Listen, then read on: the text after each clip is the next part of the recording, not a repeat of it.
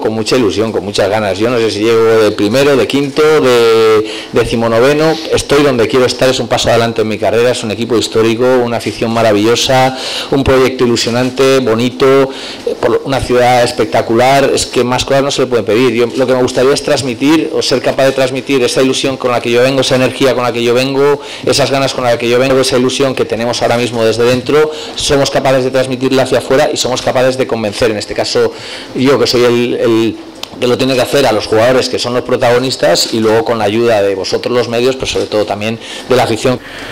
Nosotros estamos muy contentos con que José Luis venga con nosotros, además es un entrenador que como todos sabéis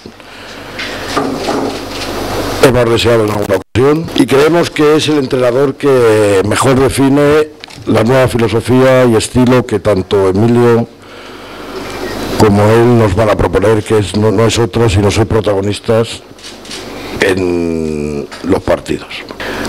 A José Luis, que yo había hablado con él por teléfono dos o tres veces,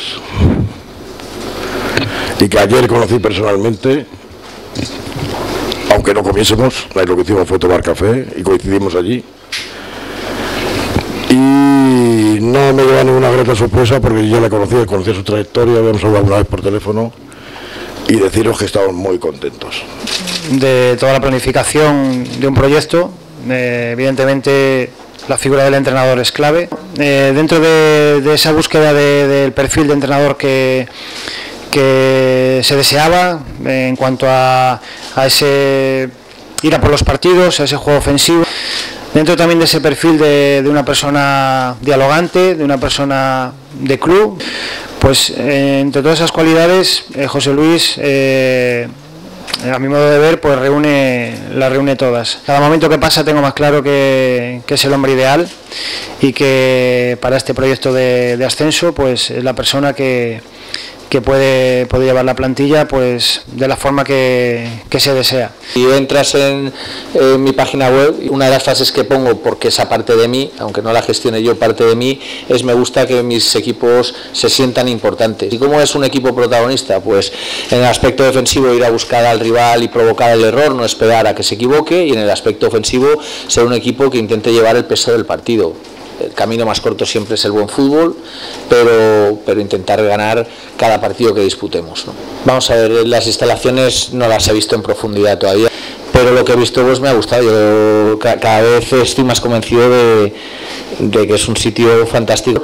En fin, eh, la infraestructura que tiene el club es de un club importante. En cuanto a lo de la pretemporada, pero en principio la idea vamos a empezar en torno al 7 de julio, porque la liga este año empieza el 15 de agosto entonces son cinco semanas y media aproximadamente desde que, desde que empieza la temporada cuando comenzamos a entrenar. Vamos a una semana concentrados, no comunicamos todavía el sitio, eh, que lo había además buscado el club que yo conocía y está fenomenal. Pero vamos, dividimos una semana concentrados, el número de partidos pues será entre 8 y 10, no sé si serán 9, serán 8, serán 10.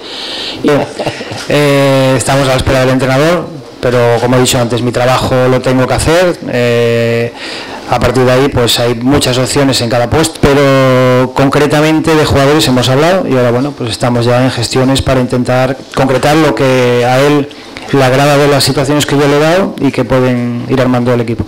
Los nombres no te los voy a dar aún lo, más rápido posible. Queremos tomar decisiones, sobre todo para no perjudicar a nadie, ni a nosotros como club, ni a, los jugadores con los que no se cuente. En el caso concreto de Cisco puede ser una excepción porque es un futbolista que he entrenado, eh, al que le tengo aprecio personal, aunque Cisco creo que es un jugador que ya ha estado aquí, que conocéis bien, que es muy bueno, que puede dar un rendimiento importante y hay que hablar con el jugador primero. Puede haber algún entrenamiento en la semana a puerta cerrada, es lógico, es normal, lo vais a entender, la mayoría pueden ser a, puerta abierta, pero me quedo la posibilidad de que en algún momento de la temporada, por necesidades o porque entienda que es lo mejor para el Córdoba, en este caso los futbolistas, el grupo, los profesionales, cerremos la puerta por trabajar con una mayor intimidad, mayor tranquilidad. Pero eh, lo normal que sea una puerta abierta.